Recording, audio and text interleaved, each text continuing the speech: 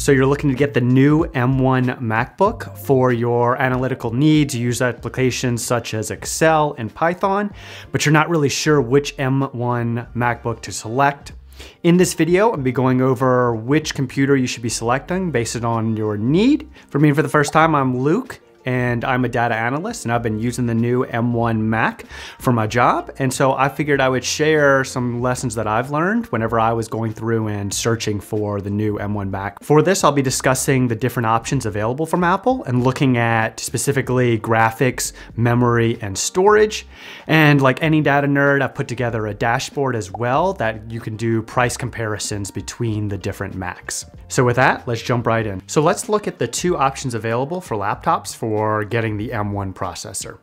So those are the MacBook Air and then also the MacBook Pro, which is only available currently in the 13 inch. First, let's look at what is similar between the two.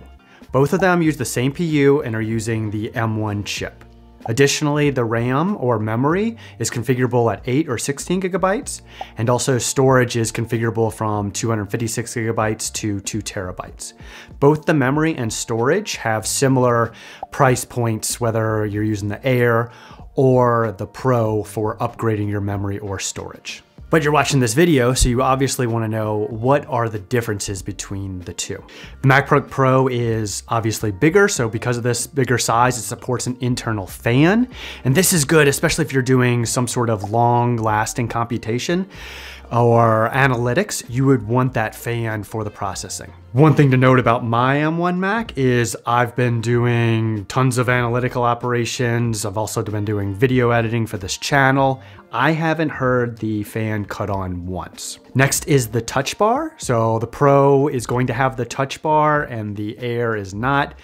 Personally, I can't stand the touch bar, so it's not really a pro that the Pro that the Pro hasn't. And then finally, the last major difference I found was the battery life. So the MacBook Air only has a 18 hour uh, battery life, I say only, and the MacBook Pro uh, has a 20 hour battery life. So a two hour improvement. I don't really know if that's really that much of a difference. Other considerations is both the MacBook Air and MacBook Pro only support officially one external monitor, but there are workarounds that I currently utilize to support more than one monitor. And I'll include a link down below on how you can actually do that if you need to set up an additional monitor. So if you're deciding between the MacBook Air and the MacBook Pro, Honestly, if you're just doing basic data science needs, my recommendation is gonna be go with the MacBook Air if you're trying to save money. If you have the extra money, go for that MacBook Pro. But overall, I don't think it's gonna be necessary. So now let's go further into depth with some of the specification options that you can select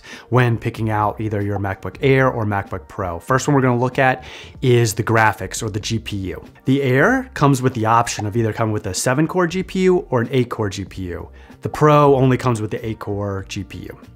What I've noticed when going through and testing this and running 10 different uh, browser tabs, multiple Excel sheets, uh, Tableau up, Python running, my GPU never got over, uh, for my 8 core GPU on my MacBook Pro, it never got over 50% load. Uh, my recommendation between choosing between the 7 core and 8 core, if you don't have the money, just go with the seven core, it's gonna be more than enough to fit your need. The next hardware component to look at is your memory or RAM, random access memory.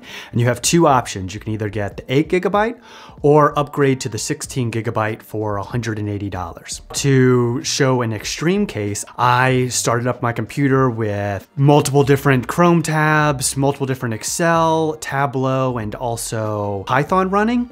And I was getting around nine to 10 gigabytes of RAM usage, so a little bit over 50% for my 16 gigabyte uh, MacBook. And you're probably saying to yourself, hey, that, I mean, obviously I need more than eight gigabytes.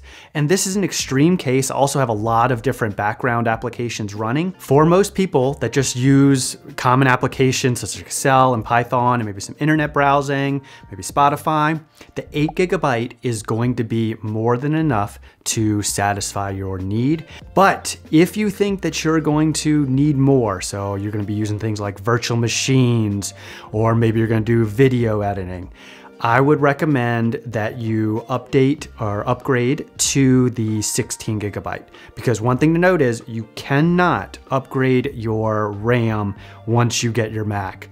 It is, it's permanent. The last hardware component to choose is your storage and different SSD sizes come with the MacBook Pro and MacBook Air that are gonna vary in size from 256 gigabytes all the way up to two terabytes. To get a rough estimate of what you may need, I recommend just going into your current Mac if you have one or Windows and go in and see how much storage you're using now and do the selection off that. If money is a concern, I highly recommend just going with the lowest option of 256 gigabytes. And that's gonna be, that'll be more than enough to handle your storage needs for all your applications and all your different documents for data science. And one option just to consider, right? This is a one terabyte uh, external hard drive, costs about 40 bucks. You can always move whatever files and stuff onto this external hard drive later on. So that's why I say, hey, with RAM, you can't do anything about it later on. That's why if you need to upgrade, upgrade.